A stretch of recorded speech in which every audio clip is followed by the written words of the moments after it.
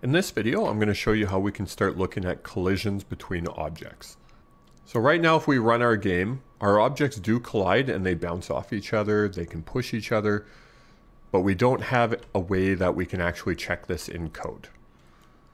So let's start with these boulders or our rocks here. So I'm going to select the first rock.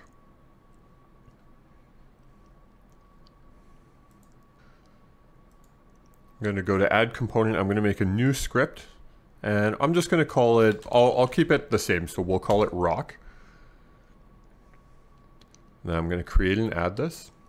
Now remember, this is the instance of a prefab. So what we did here is not going to add it to the second rock yet until we apply the override. And that's fine. I'm going to do that at the end. I want to show you first with only one script on this one rock. So let's open the rock script. And now to detect collisions, we have several different methods we can use that are built into Unity. So like everything else so far that I've shown you, we have two different physics systems. So we want to make sure we use the 2D versions. What we can do is type on collision, and then you're going to see in the autocomplete, we have a few different options here. We have on collision enter 2D, on collision exit 2D, and on collision stay 2D. So we're going to go through them one by one. Now the names do pretty much sum up what they do, and it's very similar to the button presses that we used earlier. So on collision 2D is only going to happen the very first frame where a collision happens. So let's just do a debug.log. I'm going to do rock hit something. Let's open our console. We'll run our game. Okay, so we see only once the rock hits something. So it's only going to load that the first frame when it hits something, but it's going to do that for every object that it hits.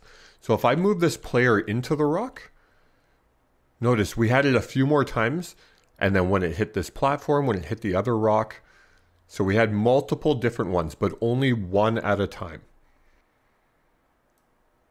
Now the next one is on collision stay 2D. So if we go run this one, this is like when we use get button down and get button. So this is kind of like get button where it's going to trigger every frame that it's touching something.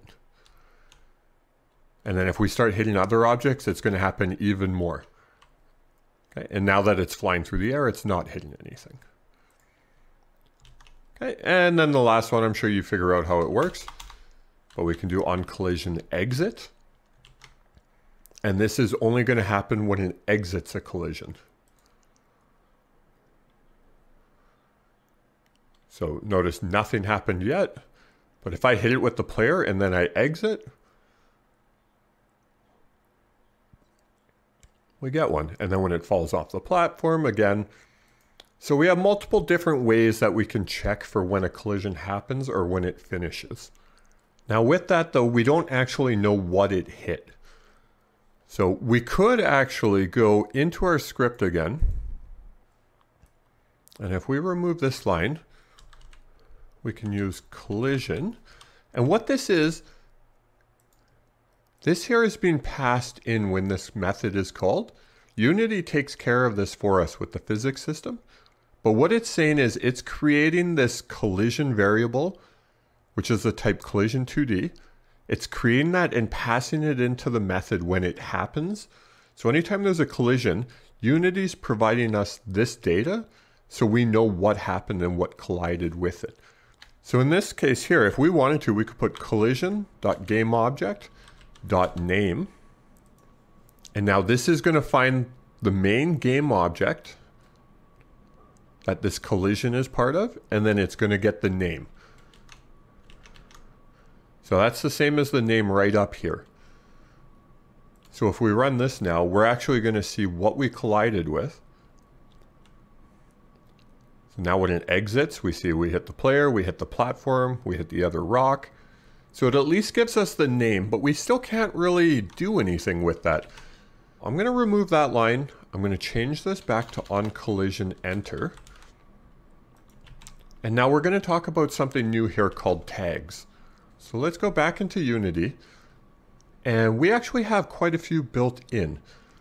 So first thing before I forget, which I don't want to do. I want to select this rock. I'm going to go to overrides, apply all. So it pushes this script. So now both rocks have the same script. Let's select our player. And let's look up at the top here. It has a box says tag and it says untagged.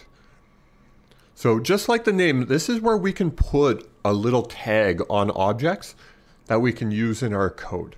You can think of it just like a label or a name tag. It works on the same way. By default, Unity already has one called player because almost every game is going to have some form of a player in it. And then we have some stuff like main camera. We don't need to worry about those right now. Let's select player. So our player is now tagged as player. I'm just going to apply that override now. All right, so we have a tag on our player. Now let's go back to our code here. And what we can do is we can do an if statement. And inside here, we can use this collision object like we did to get the name. So we can do collision dot game object dot tag, and then we can check if it's equal to, and then we can put in whatever we want here. So we can check this. We can see if it's the player. And now we can debug.log rock hit player or rock hit the player. Now we can collide our rock with any object in the game. The only time it's going to output this is if it hits something with the tag of player. So let's go check how this runs. Okay, so nothing in the console. I go and hit this one, I hit that one, I hit this one. Notice every time we hit it, it's going to output we hit the player. But anything else, no output. So this is how we can start checking what we're colliding with and what we're hitting. Now we have this way. This will work, but this isn't actually the way that Unity recommends checking for a tag. It's a bit slow and it has a bit of issues behind the scenes that you don't really need to worry about. But the way they recommend it, I just wanted to show that first. It's actually still quite easy. So we still want to use collision but instead of getting the game object and then the tag, they have a method built in that we can do collision dot game object dot compare tag. And then we type in the tag player here. So like I mentioned, both will work, but this is the more correct way to do it. So now we know how to check if we hit an object. We're just going to leave this as is right now and I will see you in the next video.